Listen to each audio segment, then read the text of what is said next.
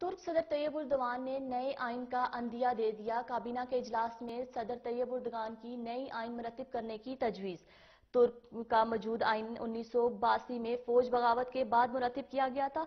ये वक्त है कि मुल्क में नए आइन पर बहस की जाए। तुर्क सदर तैयब उर्दवान का कहना था, तुर्की के मसाइल की वजह से वजह यह है कि हमेशा आइन को काबजों ने मरतब किया है।